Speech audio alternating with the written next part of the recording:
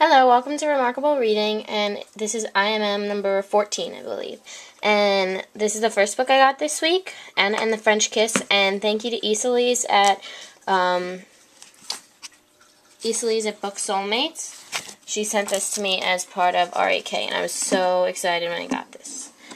Next, I got, I went to the Strand in New York City, and I got Eyes Like Stars by Lisa Mantchev, and even though I believe this hasn't come out yet, I think this comes out in October, but they had it audition by Stasia Ward Kehoe, and I am going to a signing for that in November.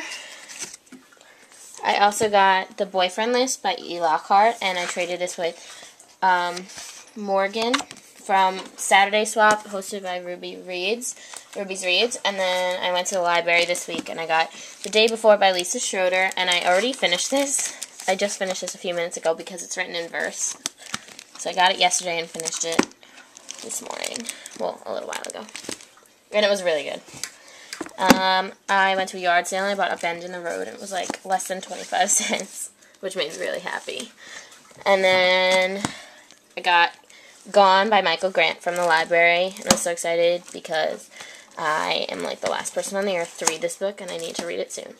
And then that's all for books. And I also got some swag from Megan Crewe.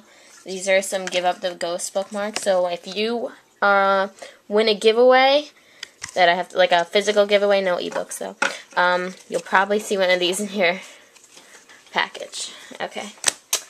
Thanks, and what did you get in your mailbox? Bye.